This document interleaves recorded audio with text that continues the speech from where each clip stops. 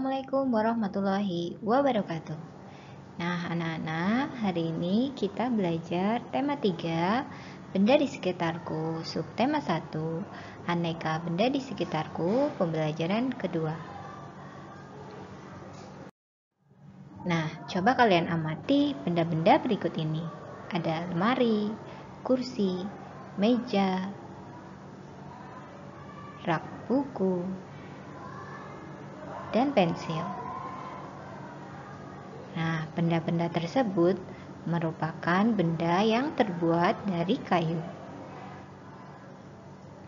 Kayu dimanfaatkan manusia untuk berbagai keperluan, mulai dari memasak, membuat perabot, seperti meja kursi, bahan bangunan, pintu jendela, rangka atap, bahan kertas, dan banyak lagi. Banyak orang menggunakan kayu karena kayu mudah diperoleh dan mudah dibentuk. Biasanya, kayu akan dikeringkan untuk menghindari jamur dan serangga yang dapat menyerang kayu. Selain itu, perabot kayu juga akan dipernis atau dicat supaya bisa tahan lama.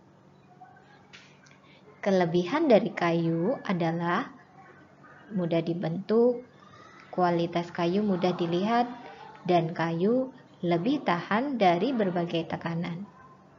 Sedangkan kelemahan kayu adalah mudah terbakar dan mudah rusak jika terkena air. Apakah kalian tahu bahwa pensil yang kalian gunakan untuk menulis juga terbuat dari bahan kayu loh? Selanjutnya, simaklah cerita berikut ini. Desa tempat tinggal Siti dan teman-teman mempunyai hutan. Di dalam hutan tersebut terdapat berbagai jenis pohon. Fungsi hutan antara lain untuk menyerap air hujan. Hutan menyimpan air hujan tersebut dalam jumlah yang banyak.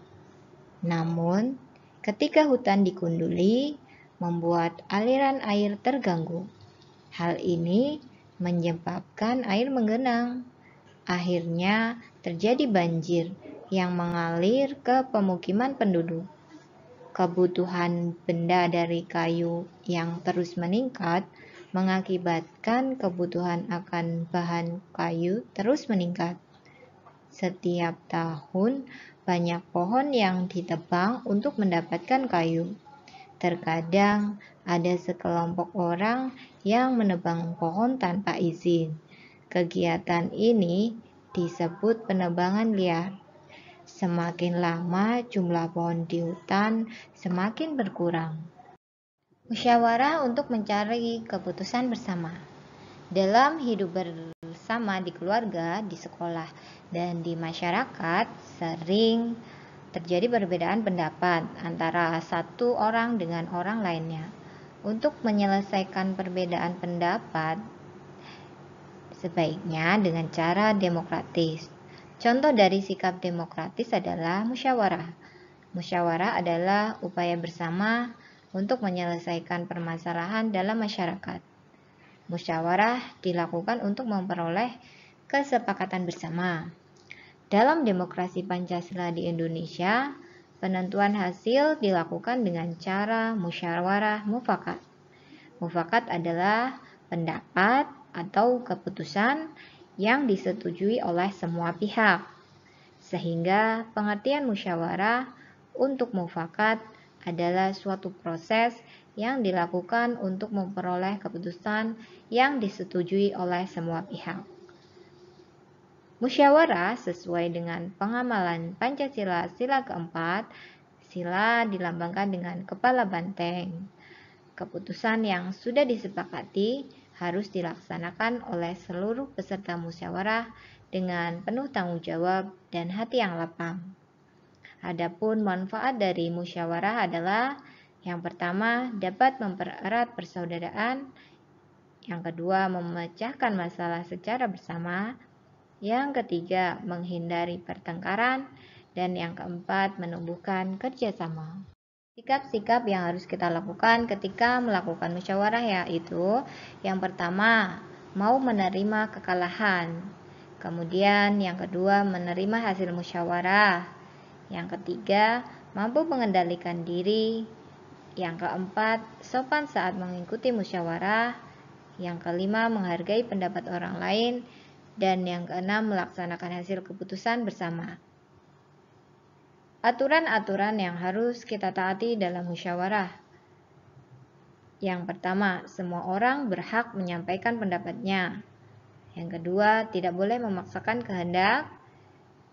Yang ketiga, jangan memotong pembicaraan orang lain. Dan yang keempat, setiap orang, setiap pendapat harus dihargai. Dan yang kelima, memberikan kesempatan kepada orang lain untuk menyampaikan pendapatnya. Musyawarah dapat dilakukan di rumah, di sekolah, maupun di masyarakat. Contoh musyawarah di rumah adalah menentukan tempat tujuan rekreasi keluarga, atau pembagian tugas membersihkan rumah. Contoh musyawarah di sekolah yaitu memilih ketua kelas, membagi tugas piket, dan merencanakan kunjungan pada teman yang sakit. Sedangkan contoh musyawarah di masyarakat adalah pemilihan ketua RT, menentukan hari kerja bakti, dan memilih ketua RW. Tugas yang harus kalian kerjakan adalah ada dua tugas PKN. Yang pertama, apa yang dimaksud dengan penebangan liar? Dan yang kedua, apa dampak dari penebangan liar? Yang ketiga, siapa sajakah yang wajib menjaga kelestarian hutan? Yang keempat, sebutkan upaya-upaya yang dapat dilakukan untuk melestarikan hutan. Dan yang kelima, apa sanksi yang diberikan kepada pelaku penebangan liar. Tugas PKN yang kedua adalah yang pertama, mengapa kita perlu melakukan musyawarah mufakat. Yang kedua, mengapa kita tidak boleh memaksakan kehendak. Dan yang ketiga, bagaimanakah sikap yang baik saat orang lain mengemukakan pendapat. Keempat, bagaimana cara menanggapi pendapat orang lain yang tidak kita setujui. Dan yang kelima, bagaimanakah seharusnya keputusan yang diambil dalam suatu musyawarah. Kerjakan tugas kalian pada buku lembar kerja siswa kalian ya. Demikian pembelajaran hari ini. Semoga materi yang guru sampaikan dapat kalian pahami dan dapat menjadi ilmu yang bermanfaat. Sekian dari Budia. Wassalamualaikum warahmatullahi wabarakatuh.